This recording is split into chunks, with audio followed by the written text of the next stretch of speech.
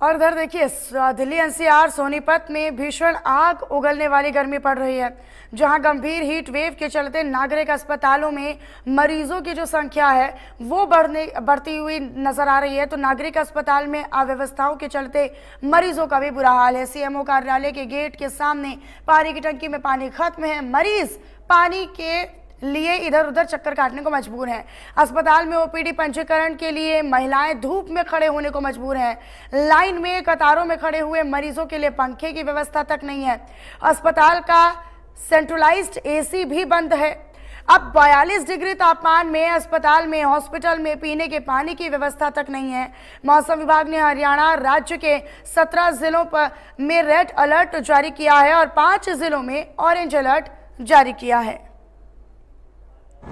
neighborhood Delhi NCR समेत उत्तरी मैदानी इलाकों में लगातार प्रचंड गर्मी का कहर देखने को मिल रहा है और हॉस्पिटलों में ओपीडी की संख्या भी लगातार बढ़ती जा रही है। हालाँकि प्रचंड गर्मी के बीच जहाँ नागरिक हॉस्पिटल में तमाम प्रकार के इंतज़ाम होने चाहिए कहीं ना कहीं लंबी कतारों में लोग खड़े ज़रूर हैं लेकिन पंखों की पूरी तरह से व्यवस्था नहीं है। हालात ये भी है कि लोग जो है धूप में खड़े होने के लिए मजबूर हैं। सामने एक तस्वीर मैं आपको दिखा रहा हूँ अ, खास तौर पर देखिए, एक लंबी कतार जो है यहाँ ओपीडी पर ओपीडी पंजीकरण के लिए लगी गई है और खास तौर पर ये सामने एक तस्वीर महिलाएँ जो हैं, लाइन में जो है खड़ी ज़रूर हैं, लेकिन धूप में खड़े होने के लिए मजबूर हैं और यहाँ पर कोई पंखे की भी व्यवस्था नहीं है। केवल खिड़की के कोने पर ही दो पंखे लगाए गए हैं और ऐसे में छोटे छोटे बच्चों को लेकर महिलाएँ जो है, वो पहुँची हुई हैं और ऐसे में गर्मी से हाल बेहाल है और किस प्रकार से यहाँ पर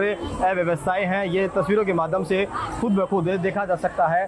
सेट भी पूरी तरह से कवर नहीं है, क्योंकि पूरी तरह से कवर ना होने की वजह से स्थिति ये है कि महिलाएँ जो है, धूप में खड़े होने के लिए मजबूर हैं। और ये तस्वीर जो है, इस बात की साक्षी है कि जिस प्रकार से प्रचंड गर्मी पड़ रही है और जिस प्रकार से नौ तपा लगातार देखने को मिला है, नौ तपा का आज तीसरा दिन है और जिस प्रकार से दोपहरी होने तक करीबन तापमान 45 डिग्री से ज़्यादा जा पहुँचता है और ऐसे में हीट वेव का प्रकोप लगातार देखने को मिल रहा है और डॉक्टर्स की भी यही सलाह है कि बढ़ती हुई गर्मी के बीच बेहद ज़्यादा ज़रूरी हो जब भी घरों से बाहर निकले। हालाँकि अगर बात करें जिस प्रकार से डॉक्टर ने सलाह दी है, ग्यारह बजे के बाद जो है घरों से कम कोशिश करें बाहर निकले, लेकिन जिस प्रकार से हॉस्पिटलों में एक लंबी कतार जो है, वो यहाँ पर देखने को मिल रही है और ऐसे में कहीं ना कहीं प्रचंड गर्मी का रूप यहाँ देखा जा सकता है। अव्यवस्थाओं के बीच लोग जो है, बगैर किसी पंखों के से नीचे यहाँ पर से खड़े हुए हैं और गर्मी के कारण छोटे छोटे बच्चों का भी हाल बेहाल है और मरीज़ जो है लगातार हॉस्पिटल में